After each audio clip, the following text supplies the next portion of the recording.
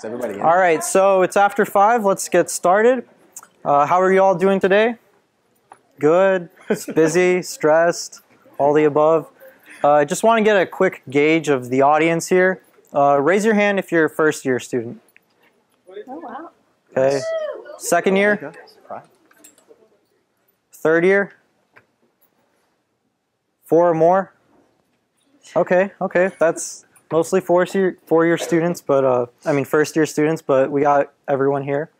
Um, so today we're going to be talking about preparing resumes. And my name is Joshua Hant. I'm a third year student in electrical and computer engineering, and I'm going to let my fellow CAs introduce themselves. Hi, everyone. My name is Cecily Sonner, and I am a junior majoring in business administration with a concentration in marketing. I'm also pursuing a minor in psychology, and this is going to be my third year being a CA. All right. So I'm Neil Hairston. Um, I am a senior, so fourth year, getting out of here soon. but uh, I am a psychology major with a minor in Spanish, and I'm happy to uh, be with you all today, and hopefully we can help you all get all the information in the world. So, learning outcomes for today, big, big like concepts that we want you all to leave with today and uh, kind of have taken in. So, uh, number one, the eight career competencies that employers look for in a resume. We're going to get more into that, um, but very important things to understand. Next, how to create a professionally designed resume. After that, the content you can include and how to prioritize your experiences, because after all, we, we have to put weight sometimes on a resume on what's more important. And then lastly, resources available to you to enhance your document. We're all students at NC State. We have so many resources available, such as the Career Development Center. We want to make sure that everyone's aware of all that you have at your disposal. So, an icebreaker I want to do real fast. Don't worry, I'm not going to ask your name and you know a fun fact about yourself. So, I need everybody at their tables. It should be about eight to a table. Can we partner up real quick for me, real quick, right now? All right. When you have a partner, raise your hand for me.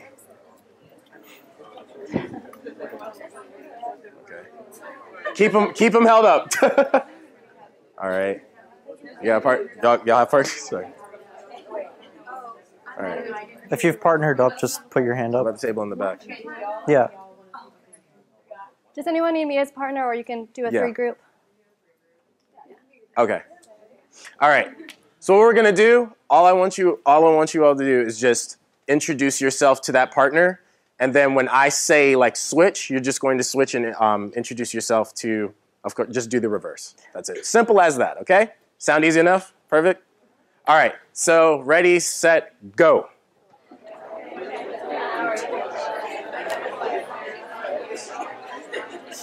Switch.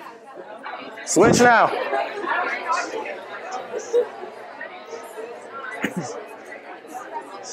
That's it. That's it. No more introducing.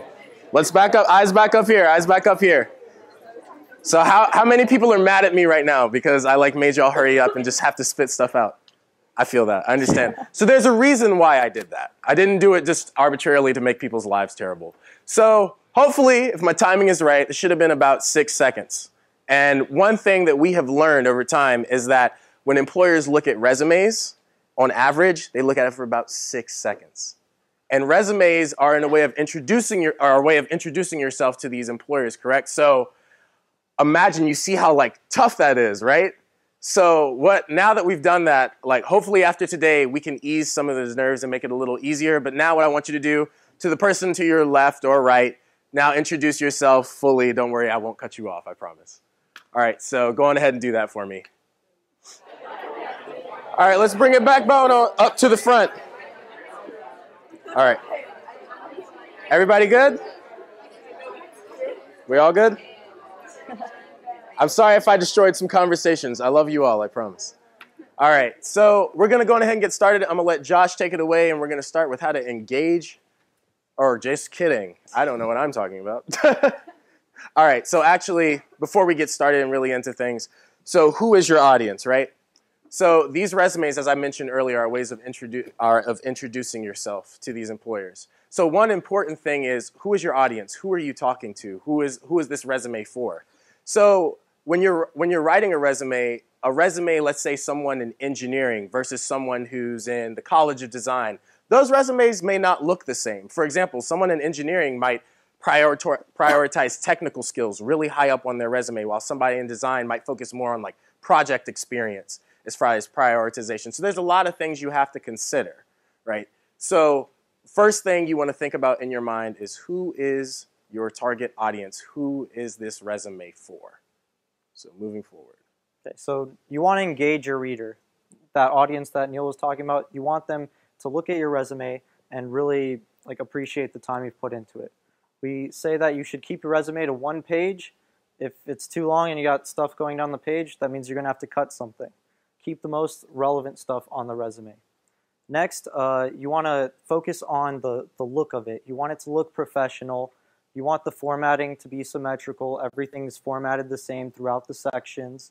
You just want it to look good so that when they look at the resume, they can find what they're looking for immediately. That also goes with like highlighting certain um, parts of your resume through different things like bolding this thing or putting something in all caps. Stuff like that will really help engage the reader and they'll the objective is to highlight your strengths and what you want them to get out of your resume as fast as possible since they are only looking at it for about six seconds. So now we're going to have the huge big flip transition into the eight ball. so uh, the core eight competencies that I mentioned a little bit earlier in the learning outcomes. So I, am not going to run through all eight of them. We would be here. We have a whole launch actually dedicated to some of that, but I want to gloss over some of the really uh, big, important ones, I think. Um, so number one uh, for me, uh, that I would say is cr so critical thinking and problem solving, right? So basically, a way to describe that would be being able to take your knowledge, data, and things given to you, and applying those and being able to solve problems with that, with those resources and that information. And the other big competency that I want to hit on uh, that's really important is something called career management because I feel like that's one of the most like confusing ones when you read that because you know you have something like leadership, people kind of have a general idea of leadership, but career management uh, is basically being able to clearly and like strongly articulate your skills and your strengths um, through, I mean, even through conversation, I mean, through resumes, cover letters, and so on. So big thing about these competencies uh, that makes them so important are we have found that these eight things are something that employers all look for and they would like to see in a candidate. So these are things you want to embody. So before I move any, uh, forward in, uh, at all, I wanted to ask uh, to scan the room. Are there any competencies that you have any questions about or may be more curious about just from looking? Please feel free to ask because I want to involve y'all in this as much as we are up here. Yes, back there. What's your name? Whoops, sorry. You said what now? Sorry. Kara. Kara? Okay, Kara. So when you talk about professionalism and work ethic, work ethic, oh. Oh, it's fine. so how do you really emphasize that you do have a good work work ethic? Because like you can say you're hardworking, and then like you might have some other abilities that you have that kind of like emphasizes, but how, like how will you actually word that? Because anybody can say, "Hey, I'm a hard worker," Mhm. and then you can see like in their like resume that they only do like one thing. So Kara had a really good question. Uh, basically, uh, she was asking how how would you word or also like get across um, to say like you have strong work ethic, work ethic, or are hardworking, uh, whether that be in like you know resume, cover letter, and so on. So one thing I would say is quantifying things on your resume that shows weight and strength on things like how much you're doing so like for example if i was writing about uh, career ambassadors like something like this on my resume maybe saying that i you know i would present from all the way from maybe eight uh, to rooms of like maybe 80 to maybe beyond like 100 plus like students. Because that gives weight to that right? That shows that i'm i'm really um, this isn't just some like quick conversation. I'm talking to like a few students. This is on a large scale and that requires a lot of work. But um, besides that what i also want to do uh, we actually have a wonderful person here today career counselor to the side miss sarah wild um, side note if any of you are not first years in CHASS she is your career counselor. So good person to know. Um, but i would like to maybe get her opinion on that as well. What do you think? I think something important to remember is when you're trying to highlight the competencies that employers are looking for, you have a lot of avenues to do that. So not only on your resume, but you'll have a LinkedIn, you'll have a cover letter, you'll have a phone interview or an in-person interview where you can kind of describe what you've accomplished in your roles. It's Over a gift. Microphone. It doesn't project, but it's a recording. Um, so I think just to keep in mind, there's lots of avenues where you can highlight and kind of talk about your experiences. But a little later, the team is going to talk to you a little bit about how to create really well developed bullet points that highlight what you've done in a really professional, strong way. And so that's a, a big piece of how to highlight the skills that employers are looking for. So um, that will be coming up in just a, a few minutes. So hopefully you'll be able to see some examples of what that looks like. All right. Thank you so much, Kara, for that question. Is there anyone else who has any other questions so far at this point? Oh, there we go. Sure. I felt the exact same way. And what's your name? Hannah. Hannah? All right, Hannah, good question. So Hannah asked, uh, what do we mean by like the information technology application? So I remember when I first saw that, when I had the same thing, I was like, what, what is this? So, uh, and long and short of it is um, basically how well you utilize like technologies available to you. So that that would be all the way from, I mean, even something as simple as like utilizing Google Calendar, like not everybody uses that, or even just general technologies that we have around, um, even email or things of that nature. Just being able to properly utilize them and effectively utilize them. Mhm. Any other questions? All right.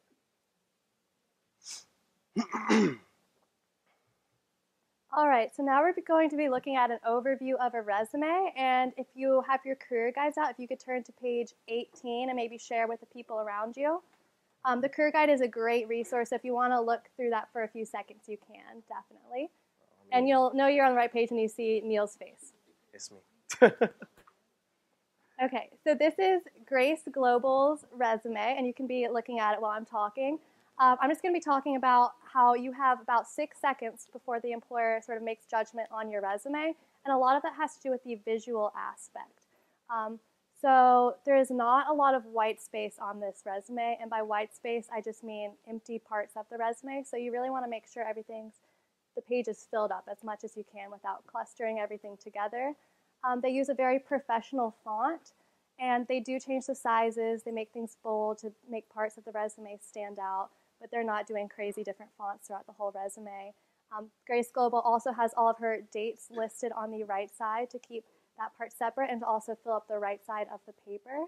And you can look at other resumes that have dates listed differently for ideas. So that is the overview of the resume, and we will get more in depth with that later. And one more thing I actually want to point out as well is if you look at uh, Grace Global's resume in the career guides, um, something really important I always like to touch on is like consistency and like formatting. So, you, like I said, as Cecily was talking about, the dates are all aligned to the right, but then as well as just how they're written, everything is all very consistent. As well as on the right when she's describing the positions, everything follows this consistent pattern. So consistency is very important. It makes things a lot easier to read. Also, within each section, this is very important. You want to have your uh, experiences listed in reverse chronological order. So do your most recent job first and then followed by older jobs. so this is the heading of the resume. Um, she's going to include her cell phone and her email address, but do not put the word cell phone or email. uh, they'll, they'll assume that that's what that is. Um, you can also include the city and state you're from if you're not comfortable putting your full address. You don't need to do that. And then we also recommend people do their LinkedIn profile. Um, would you recommend people doing like their dorm address or their home address? Um, I would do. You could put both on there, but I would do the current address if you're expecting mail or something from them. But then again, you could also just do the city and state. So um, people don't really, they're not going to probably be mailing you anything. So that part is not, don't worry too much about that.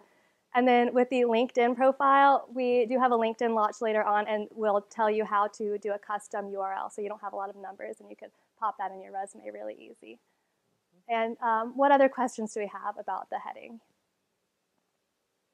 All right. super huge transition. All right. So if we look also towards the top, you should see a section called the professional summary. So how many how many people in this room are familiar with like an objective, like on a resume? How many people have heard of like an objective? Okay, okay, okay. Cool. So objectives are really cool. Um, I mean, they taught. Of course, they mainly get across the point of like what you're looking for, literally your objective. But one thing we've been more so leaning towards is something called professional summaries. Uh, number one, because I know, I know, even me personally, when I'm writing, when I've written like my resume or like edited it, I remember I was always worried like, oh, will they get a good picture of me through this resume? I'm just writing things I like did and like my job, but will they really get a good picture of me? And I think that's where the professional summary does a really good job of telling a little bit about you in a very concise way, um, but also very effective in getting its message across. So if you look, you'll notice that Grace said, uh, well, I'll read it real quick. So, collaborative, resourceful problem solver with a passion for foreign affairs, seeking a full time summer internship with nonprofit or state government organization in the Raleigh area. So, there's a few things we got from that. We got some qualities about Grace herself, what she brings to the table, what her passion is, what she's, and, and mainly what she's looking for. Three things. So, uh, I usually, so when you're creating these professional summaries, um, one big thing I would say, so ask ask yourself, and it's a really big question sometimes, but like, who are you? What are some big quality, or what are some things about yourself that maybe you like, or maybe you bring to the table? Do you think you're creative? Do you think you are? Do you think you're good at like solving problems? Uh, do I have any like math majors or like any like engineering or anybody like that? Cool. So like being in those majors, you're being trained to problem solve like constantly on a lot of different things. So that's something to consider. So think about those skills, skills that you bring to the table, as well as as well as what you're looking for, not just like seeking an internship, but also maybe what you have a passion for, and include those. It helps make a give a greater picture of who you are. So something we really recommend. One little small thing I do want to add, however, is uh, if if you're applying somewhere and you're allowed to like write a cover letter, it actually is perfectly okay to omit the professional summary and objective off of your resume when you're sending in that application, if there's going to be a cover letter. Because your cover letter effectively does that for you. So. And any questions about that? Alrighty. All right, next we're going to talk about the education section of the resume. Uh, so in the education section of the resume, you want to highlight which degree you're getting. Uh, that's why Grace here has bolded that portion. You want to say which institution you're getting that degree from and put your expected graduation date. And here again, we right aligned it because that's the format we're using for the whole resume. You want to include your GPA if it's a 3.0 or above. Uh, you also want to if if your major GPA is higher than your normal GPA, then go ahead throw that on there as well. Uh, here we also included uh, concentrations or any minors you could possibly be looking for. You could also include any study abroad experiences you have in this section. Uh, another thing you could possibly do is add a relevant coursework section right below that, maybe when you get further on into your college career. Um, got a question for everyone. True or false? High school uh, education comes off the resume in your junior year. Okay, false. Why? it's always the whys that get you.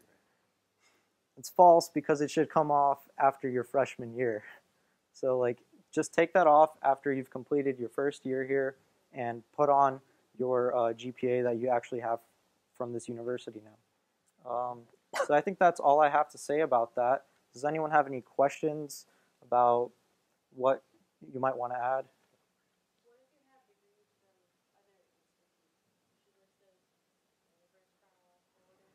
Yes. All right. So the question was, what if you have degrees from other institutions? Yes, you should uh, list those in reverse chronological order. Got one right here. Oh, got a couple. What if your like major that you're in now is like not what you you're trying to try to transfer into a, to a different major? Like do you put like your intending major or like what you're in now? That's a good one. Um, actually, I'll answer that question. What's your name? Amos. Amos, Great question. So uh, for me recently, I wasn't always a psychology major, and I am that now. And there was a period of time where I was kind of transferring over. So what I did on my resume is I put intended major psychology, and then you know the professional summary I was talking about. I kind of mentioned like because I used to be in mathematics. I was like former mathematics major, now transferred into psychology, so people have a like greater picture. But I put my intended major there because that is eventually the ultimate goal. And if I'm bring, giving my resume to like certain people, most likely they're fitting in that field, so it would make probably the most success. so that's what I did. Yeah. Oh, here we go. Um, so for people that have like multiple majors, do you have any suggestions for formatting because it can get really wordy and I don't know. So That's a good one.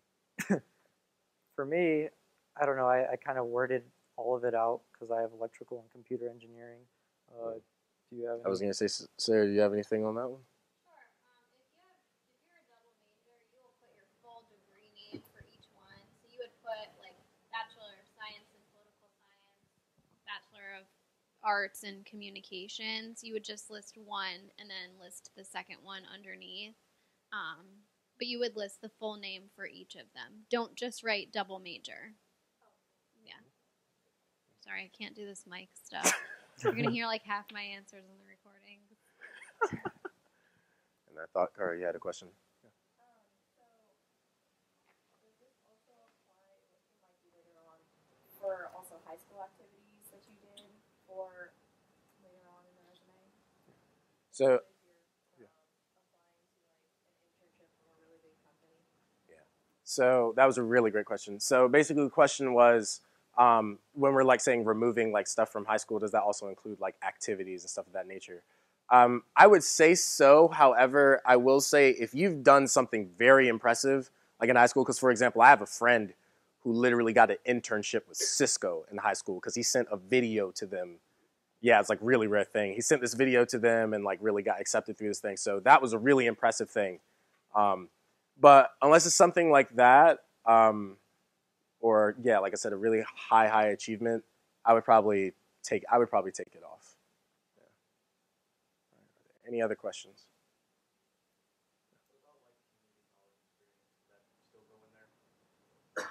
Say that's fair. I don't know. You that? She's the star. Um, if you have community college experience and you received an, a, a degree from that institution, you would include it in your education section. Same as if you, so if you transferred from a community college and you received a degree, you would include it as well as NC State. That's right. So if you just took a couple classes, college classes at a community college, you don't need to include it. If you transferred from another university and didn't receive a degree from there, you don't need to include that either. And did everybody hear what Sarah said? Did y'all hear back there? Said if you um, don't get a degree from there, you do not need to put it on your resume if you transfer from a different college. Is how, how recommended is it to, if you did get a degree, to keep it on the resume if you think it's just like taking up space and I, feel like it's just implied that if you're transferred, you transferred, the, whole reason you went to community college was, you know, to get a bachelor's degree anyway, so it's just implied that you, that you have, you know, some, some experience in. In other words, is it, is it okay to omit it from the resume? If you are really involved on campus and in the community and you have internship experience and you're trying to find a way to fit everything onto your one page resume, if you want to take off your community college experience with that associate's degree, you can. But if you have space for it, I would recommend including it. Mhm. Anything else? Okay, a lot of good questions. Next, we're going to talk about the experience section. Uh, this is where, like Cecily said earlier, you want to list your experiences in reverse chronological order. Uh, you can either put um, just paying jobs, or you can include volunteer work in here. You can make it a relevant work experience section. But what you want to highlight is the position you held, for how long you held it, and where that was. And for each of these positions, underneath that, you want to have several bullet points explaining what you did and what you accomplished. So, here in Grace's example, as a child care provider, she supervised and guaranteed the safety of three children and then listed their ages. Right there, she quantified how old the children were. So, we recommend quantifying any experiences that you can quantify. If you think, oh man, there's just really nothing I can do with the job I held in terms of quantifying it. Try to think really hard about some creative way. Like, if there was something you could quantify. If not, that's fine. Don't worry about it. It'll come in the future. Um, another great thing that Grace did in that statement right there was that she used action verbs, which are on page 30 of your career guides if you want to check those out real quick. So action verbs really help improve the statements. They they just read a lot better. They they sound like you accomplished that, that you're more um, productive with it. They just really improve the quality of the resume if you include them in there. Um, anything else? Yeah, it's very important to make sure you don't use full sentences here. Um, they should also try to fill up that line. You're again trying to get rid of all the white space on your resume. And um, I personally like to go into the job description and pick my action verbs from that if I can at any point, and then make sure I'm not using the same action verbs over and over again. And we'll talk about action verbs a little bit later on too. Yes. I have okay. This is I never know how to write this, but I had a summer internship that lasted three years, but it was just in the summer. Mhm. In the third summer, I was a supervisor, so my position changed. How would I write that? So I would say so. I had I had well, I guess I didn't progress in position, but I did have something where I did over several summers. Um, and what I know what I do on my resume, I include that whole period of time. Although, where so if I could like yeah, so kind of like you see where like lifeguard like seasonal right here. Um, what I did is I put summers in parentheses there Okay. to kind of like establish like it was like during the summer time when that's taking place. Um, as far as the position like change, how if I may ask you, how much like difference? Um, It's just like it was Yeah. called supervisor, so Yeah. there was interns and then there's supervisors, so they just kind of and did your like tasks change a lot, or were they It was this. It was just more like a leadership position. okay? You, you could include that as a different bullet point, like was advanced to a supervisor in this year. Or Um, there's a yeah. lot of different ways. Every resume is going to be a little bit different, so it's up to you. It's up to what else you have on your resume, like how many more bullet points you can add to it. Um, I do definitely recommend coming into the Career Center if you have personal questions or just want someone to look over your resume, and we'll talk about that later on too. And if you have a few other like maybe le- things you feel fall under leadership, I would also say maybe consider making like a leadership experience section and throwing that under there along with everything else. Great question. Um, if you have a study abroad experience that was like an internship and counted for course credit, like as a class, would you put that under education or under experience? Hmm, that is a really good question. Do you? Um, if, if if you had any like leadership role in it, I would put it under experience or leadership or some sort of section like that. You could also at the top of your resume under education just put study abroad and where you studied abroad, and then in a different section include all the Yeah, um, tasks fair. you did. You could also title the section International Internship, so it can kind of cover both pieces of the puzzle. Any other questions? All right. All right, and you might be asking yourself, what if I don't have any relevant work experience for the internships I want? I haven't had an internship yet. What do I put on my resume? And this is where transferable skills come in. And the definition for transferable skills is the skills you acquire and transfer to future employment settings. And um, these can cover the eight career competencies we talked about earlier. So a lot of them are like interpersonal communication, leadership, and organizational skills. Mm-hmm. And then we are going to do an activity, and I'm just going to give you an example of a transferable skill right now. So here's Drake, and he is a cashier. So you know, you know what a cashier does. They ring people up, they talk to people, scan their items. So instead of saying, you know, that he was a cashier, he could say provided excellent customer service. That's a transferable skill that can go onto any other job you're doing later in life, or um, handled conflict. That's a transferable skill. So on each of your tables, you have three sheets of paper, and I have some extra pins up here. And each team has a different celebrity, and I want you all to work together to come up with some transferable skills for the celebrity job. Also, if you're on the outside, if you want to come in and Yeah. join another group, And does anyone have any questions about this activity before we start? Yep. All right. All right. and also, while you're doing it, just for something fun, I want y'all to come up with some team names in your group, by the way. Be a great thing. All right, go ahead. Does anyone need a pen? I don't think so. I think we're good. Of course. Okay. Cool. I need a it's going pen? fine. Yeah. I was looking at time. you. That's my favorite I celebrity. skip that. Or the job, at least. How long? How long is it? Fifty. Oh, okay, yeah. Right. Do y'all have any questions or need a pen or anything? Let me know.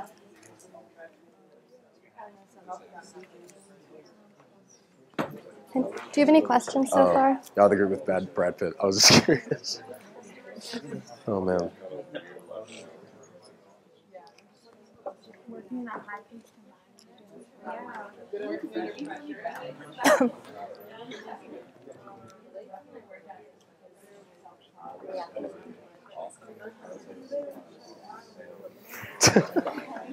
I like it. Y'all thought of any yet? Yeah. Who do you have?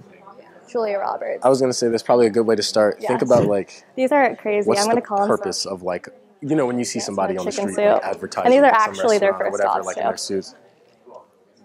Like what's the purpose of that job? Like right. So that might be Y'all like a good good starting point. yet? That's what I think, yeah. Good. These are actually like their. I he got um, hired as an actor because George Lucas saw like his hard work. Yeah, these are like Oh. actual first jobs. I looked them up. I did not make the images. We are utilized. Also, kind of intercultural films, but more of like inter-financial. Like Sorry to like pop up. Who do y'all have? I can remember. Meg is it Megan Fox. It's a great. Why not? oh man, that's funny. Look. So what are y'all thinking so far? So far, we have sales experience, customer service, marketing. Do you need any help? You doing good?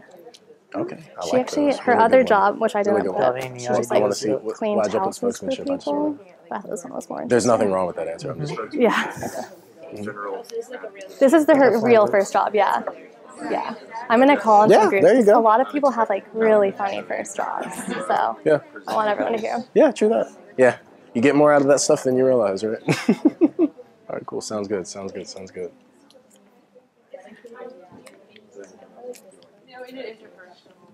Critical list. Hmm. Do we end at 5:50? hmm I found that out on this post. I don't know. Do we have time for the other activity? I don't think so. Okay. Yeah, I don't think so. Yeah, I was talking to him about that. And also, I said the team name thing so we could give out some candies. we So if there's 20 some minutes.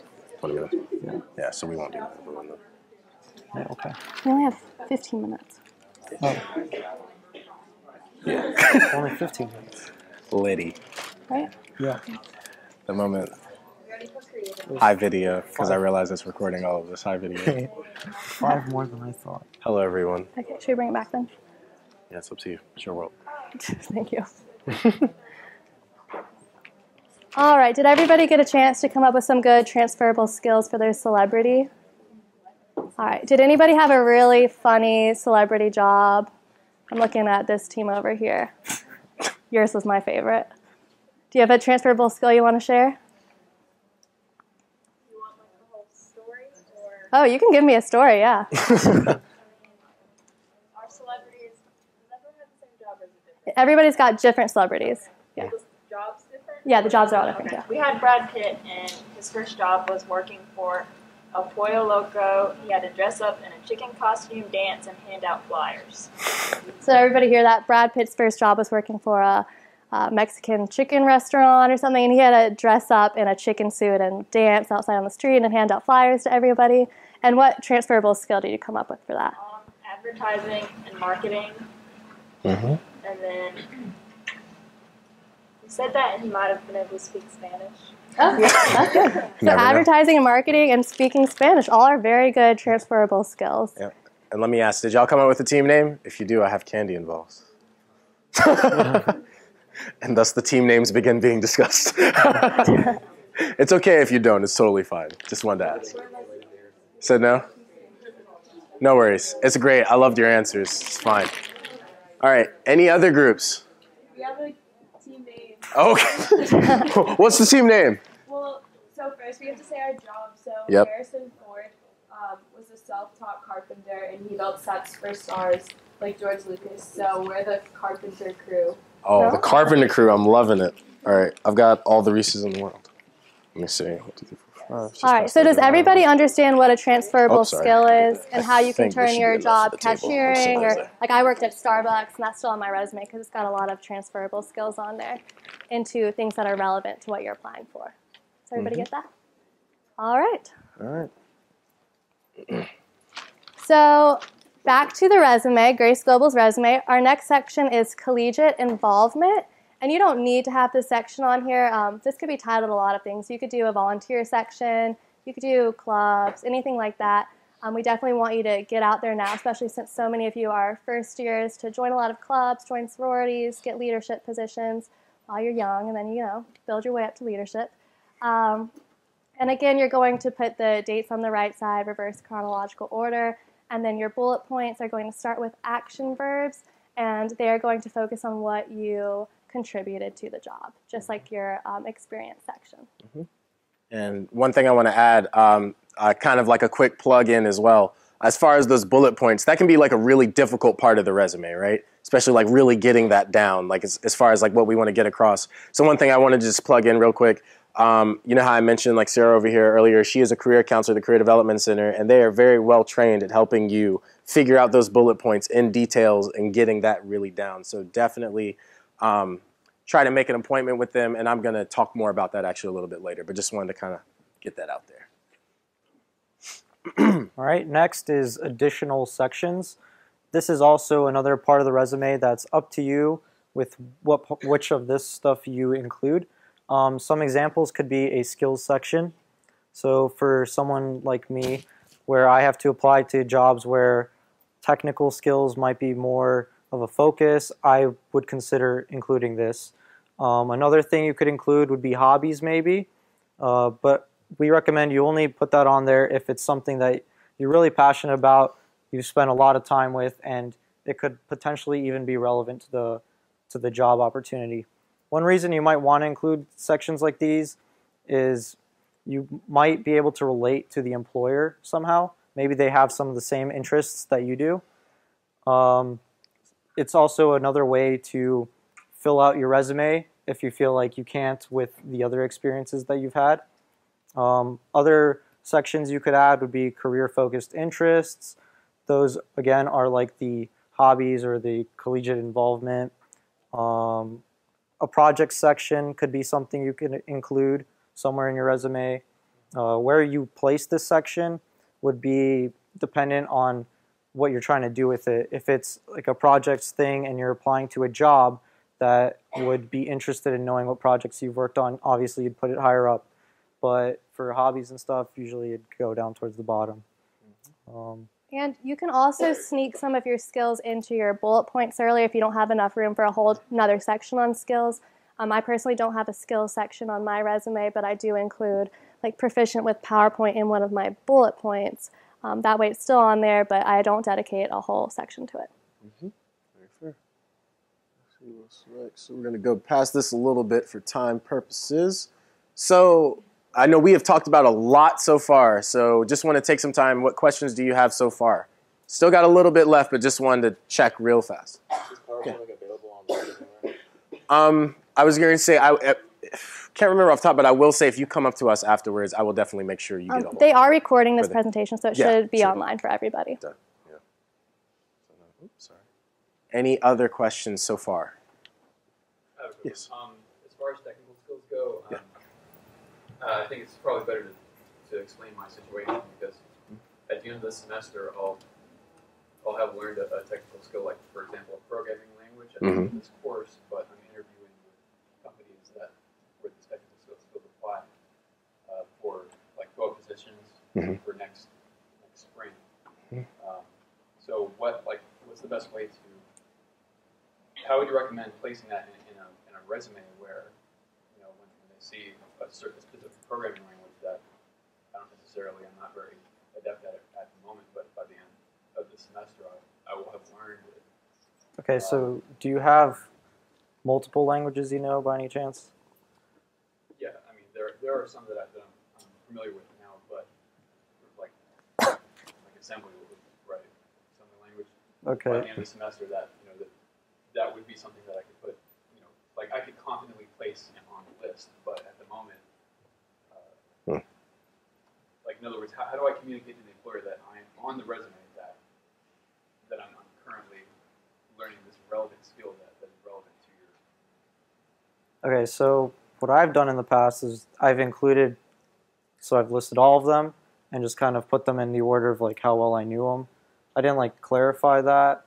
Um, I'm not sure if Sarah that's wants to jump I in Sure, here. I can answer that question. Um, if they're if you're a STEM student and there are certain programming knowledge skills that you want to include on your resume, you can include them. I would recommend that you put in parentheses maybe basic um, or beginner or um, basic in progress. The other thing that you can do is in your education section, you can include relevant coursework and mention some of the courses that you're taking that is teaching that programming language so then they know that you're taking coursework that would teach that.